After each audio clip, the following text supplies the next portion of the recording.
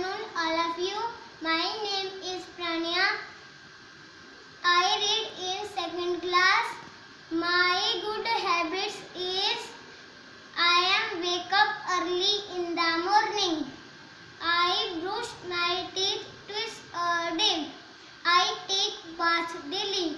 I pray to God.